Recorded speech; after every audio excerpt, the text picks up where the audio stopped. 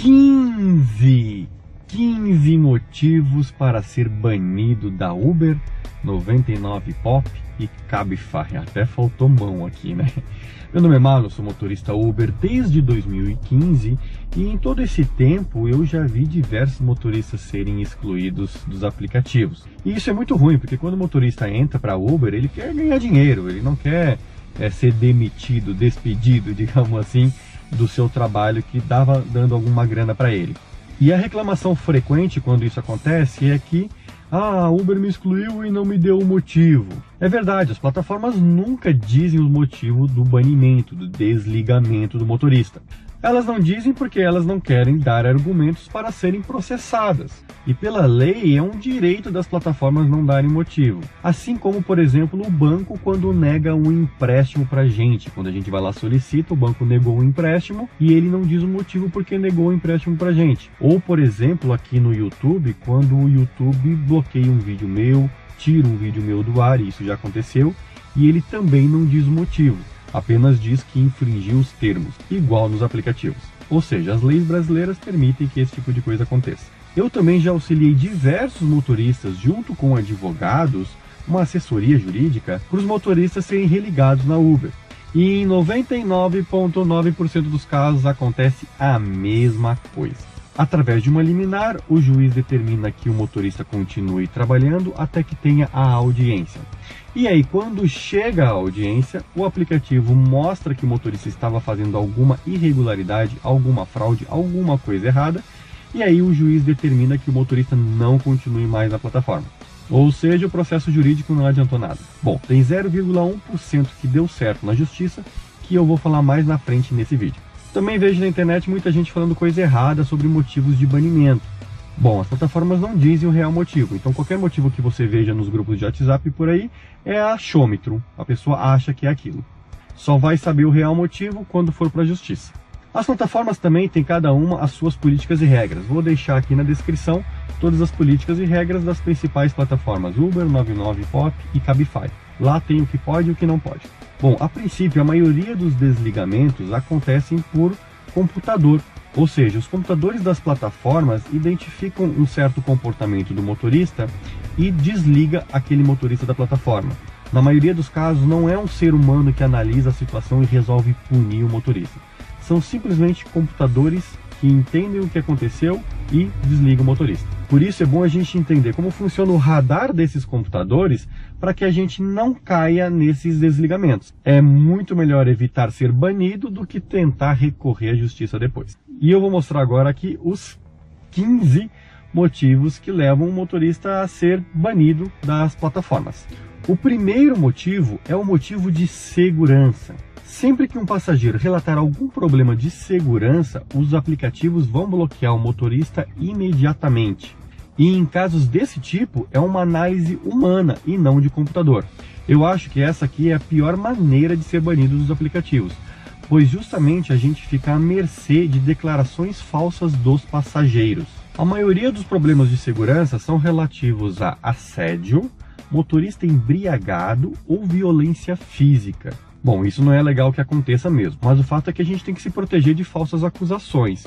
Então, se você tiver algum problema com algum passageiro em alguma viagem, relate o problema imediatamente pelo aplicativo. Diga tudo o que aconteceu, pois parece que para o aplicativo normalmente tem razão quem reclama primeiro. Um ponto legal aqui também é você utilizar o aplicativo Rebu, a câmera secreta do aplicativo Rebu, para gravar suas corridas. Pela lei você não pode compartilhar as imagens que você está gravando, mas você pode usar essas imagens em caso de algum processo jurídico depois. Vou deixar aqui no cantinho um vídeo que eu explico sobre isso. Motivo número 2 são fraude, e fraudes tem sido um dos motivos que mais tem desligado motoristas ultimamente.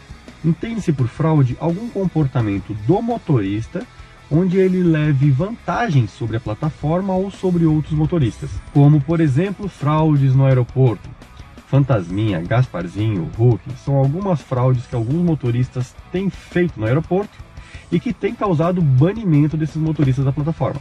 Não pretendo explicar aqui como isso funciona, mas aqui são computadores que detectam isso e desligam o motorista. Viagens por fora da plataforma também são consideradas fraudes, ou seja, você chega no passageiro, cancela a corrida e faz a corrida por fora só para não pagar os 25% para Uber, por exemplo. Ou você pega o passageiro, anda um pouquinho, para a corrida, finaliza a corrida e depois continua por fora.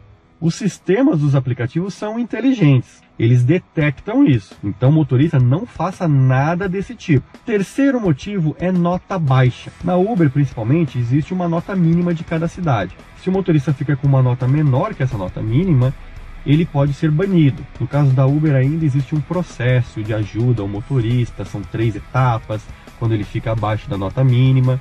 Aí caso o motorista não consiga essa nota mínima, aí sim ele é bloqueado de vez. Vou deixar também aqui no videozinho aqui no canto como funciona esse procedimento. Algumas notas mínimas de algumas cidades são, por exemplo, São Paulo 4,65, Porto Alegre 4,70, inclusive acho que é a maior que tem, Porto Velho 4,68, Belo Horizonte 4,60 e Rio de Janeiro 4,65. Quarto item é promover concorrência, incluindo o seu próprio serviço. O maior duelo entre as plataformas é justamente conquistar os passageiros. As plataformas brigam para ter mais passageiros, pois afinal são eles que pagam por tudo. Então a Uber não quer que você, motorista, faça propaganda da 99 ou da Cabify.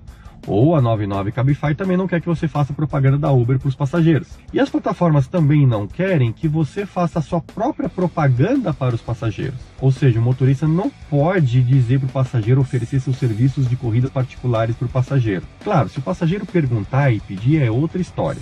Mas caso você incomode os passageiros oferecendo corridas por fora, o passageiro pode relatar isso para o aplicativo e aí o motorista é banido da plataforma.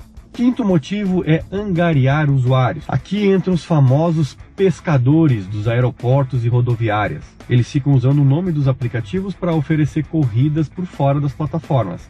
E isso as plataformas não toleram. Sexto motivo: trabalhar com o cadastro de outro motorista.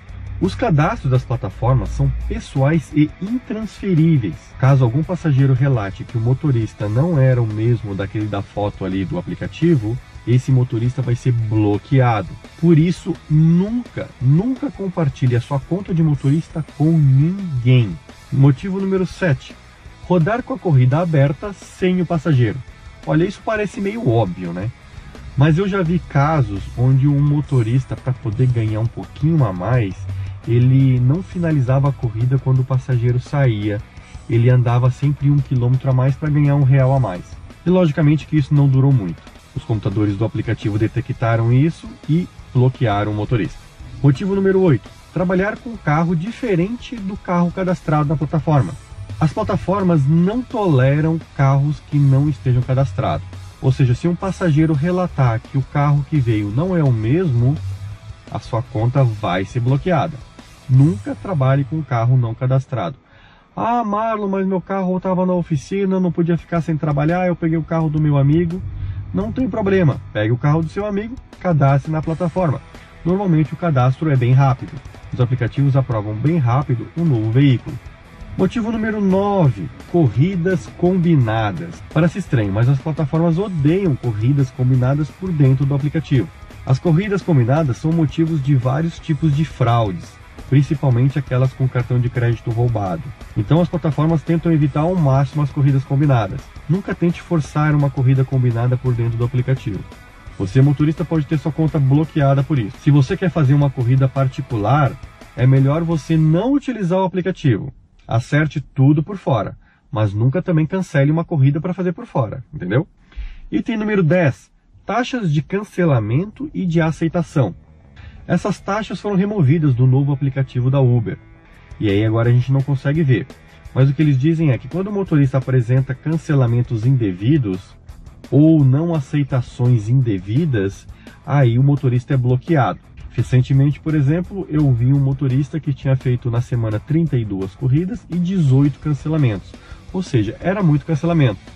E ele foi bloqueado da plataforma.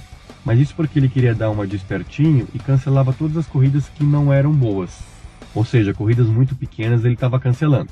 Ele perguntava para o passageiro qual era o destino antes de fazer a viagem. E aí, se o destino fosse muito pertinho, ele cancelava. Então não faça esse tipo de coisa porque as plataformas vão desligar você. Motivo número 11. Ter outra pessoa não passageira dentro do veículo. Isso parece meio óbvio, mas eu já vi motoristas que estão começando na primeira semana e começaram a trabalhar com uma pessoa do lado para auxiliar. Só que isso as plataformas não toleram. As plataformas esperam que tenha apenas um motorista e tenha quatro assentos vazios. Eles dizem que isso é por motivos de segurança do passageiro. E aí, abrindo um parênteses aqui, né? A segurança dos motoristas está meio ruim, né? Motivo número 12: rejeitar animais de serviço. Ou seja, aqueles deficientes visuais que estão com cães guia, por exemplo, você não pode rejeitar o cão guia. Isso é por lei. Se algum passageiro relatar que você, motorista, não quis fazer a corrida por causa do cão guia, você vai ser banido da plataforma. Portanto, sempre faça as corridas com cães guia. Motivo número 13: taxa de cancelamento no aeroporto. A Uber não tolera cancelamentos excessivos na região do aeroporto. E aqui vale a atenção que mesmo os cancelamentos feitos pelos passageiros, pelos usuários, também contam para a taxa de cancelamento do motorista no aeroporto. Então, se você motorista está tendo muita taxa de cancelamento sua e dos passageiros, você pode ser banido da plataforma por isso.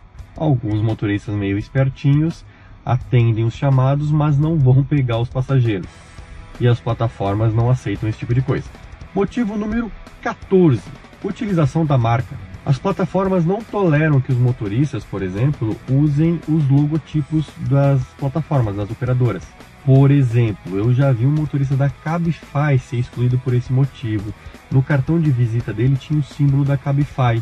E acho que algum passageiro tirou uma foto, relatou para o aplicativo, enfim, e o motorista acabou sendo banido por isso. Então não utilize os logotipos das plataformas em cartão de visita, dentro do seu carro de nenhuma maneira. Motivo número 15 apresentar informações falsas no momento do cadastro. Bom, isso parece meio óbvio, mas se o motorista apresentar alguma informação falsa, como por exemplo uma foto da CNH que não é a dele, isso no momento do cadastro, para ser um motorista Uber, caso o aplicativo identifique que aquilo foi a apresentação de uma informação falsa, ou não vai ter segunda chance, o motorista não vai conseguir entrar para ser um motorista Uber. Conclusão: minha intenção aqui é justamente dar informação para vocês para que vocês não sejam banidos das plataformas. O conhecimento é a melhor arma para a gente se proteger. Então, sabendo esses motivos, você vai estar bem protegido para não ser banido das plataformas. Importante salientar também que as plataformas, principalmente a Uber e a 99, elas pagam recompensas por indicações de motoristas. Ou seja, os aplicativos não vão banir motoristas sem qualquer motivo. Afinal, os aplicativos pagam para ter motoristas na plataforma. E se eles pagam por isso, eles não vão desligar motoristas sem nenhum motivo. Como eu falei no início do vídeo, a grande maioria dos processos que foram para a justiça para tentar religar o motorista, o aplicativo sempre mostrou ali na cara do juiz, na cara do motorista, o que, que ele estava fazendo de errado. Mas caso você tenha sido banido e não tenha cometido nenhum desses 15 itens que eu coloquei aqui, então é interessante você buscar uma assessoria jurídica. A AMASP, Associação dos Motoristas de Aplicativo de São Paulo, pode dar essa assessoria para você. Vou deixar aqui embaixo o e-mail da AMASP para você entrar em contato e buscar essa assessoria. Eu sou vice-presidente da AMASP e a gente vai conectar você a um advogado e aí você e o advogado acertam tudo lá para que você tenha uma defesa quanto a isso. Bom, esse foi o vídeo de hoje. Vejo você numa próxima dica, no próximo vídeo. Valeu!